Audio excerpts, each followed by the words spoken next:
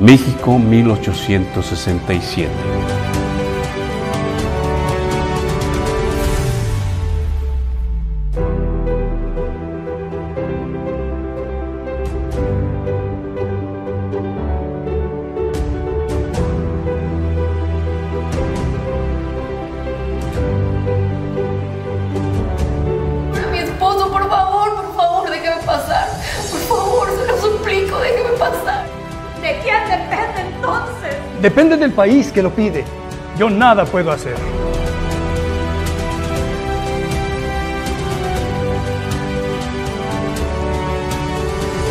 y tomando a la misión de escribir sus memorias con la finalidad de redimir ante sus propios hijos y a la historia el nombre de su esposo Miguel Miramón.